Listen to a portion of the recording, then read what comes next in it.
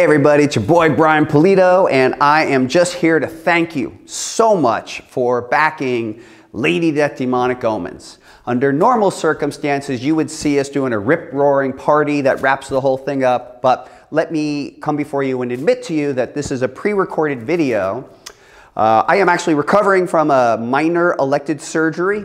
Uh, truth of the matter is, uh, what else can you say? I have uh, like insane varicose veins in both my legs that cause a lot of pain, and I chose to do some elective surgery to have all that stuff removed. And so I am not coming to you live because I'm actually in recovery. Not a big deal. The, the procedure itself takes about a half hour, but, but mainly they want me to keep off my feet for three or four days. And as you can imagine, that's near impossible for me. So Anyway, I, I, digress. So it's, uh, it's completely under control, but I did want to uh, be transparent with you about the reality of it. But I do just want to thank you.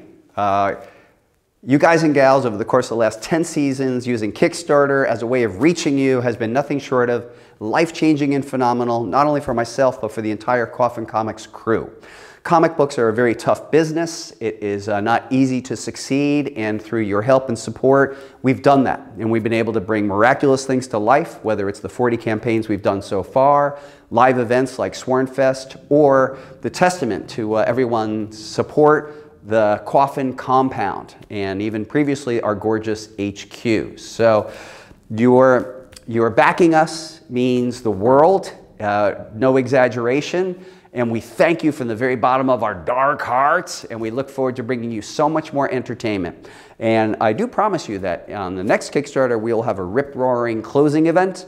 But for now, your boy is probably like laying down right now, recovering. But it's all okay and planned for. It is not a big deal. But sometimes in life, you got to do stuff like this. So, in conclusion, it's your boy Brian Pulido thanking you, everybody. Just thank you so much. Talk to you soon.